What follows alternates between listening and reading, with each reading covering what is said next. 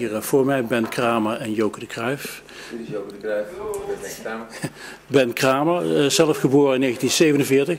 Nog enige herinneringen eraan? Ja, ja. Ja? Ik, ik, ik weet nog heel goed eh, dat mijn ouders mijn kinderkleertjes opgestuurd hebben naar Zeeland. Via het leger des Heils. en de radio stond de hele dag aan. Ja, dat kan ik me nog wel herinneren. Ik was bijna zes.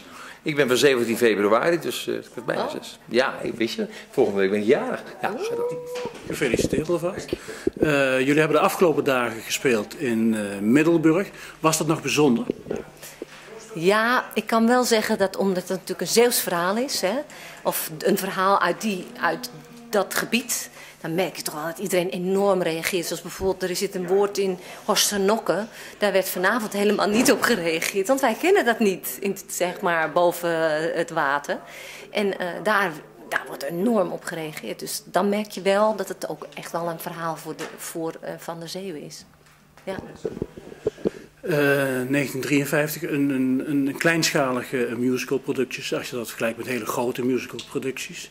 Jullie hebben in beide gespeeld. Eh, wat is de charme van, van zo'n productie als, als 1953?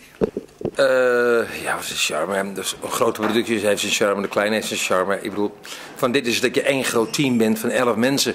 Die ook nog eens een keer de changementen zelf moeten doen. Dus de koorwisselingen moeten doen. En eh, echt een, een hechte groep mensen die... eh, ook bijvoorbeeld, ik neem maar een klein voorbeeld, s'avonds gewoon om half zes hier keurig aan tafel zitten te eten met z'n allen. Nou, dat maak je bij grote musicals niet mee. Iedereen komt er binnenvallen rond half zes, zes uur, half zeven. Ja. Hier dus niet. En het is een, eh, hoe zeg je nou, Homogeen. Homogeen, homogeen eh, eh, gebeuren. En, en dat, dat straalt ook uit op de bühne. Ja. Er zitten prachtige liedjes in, eh, de, in deze musical. Eh, wat mij opviel was ook de instrumentale gedeelte, die echt eh, toewerken naar een enorme spanning.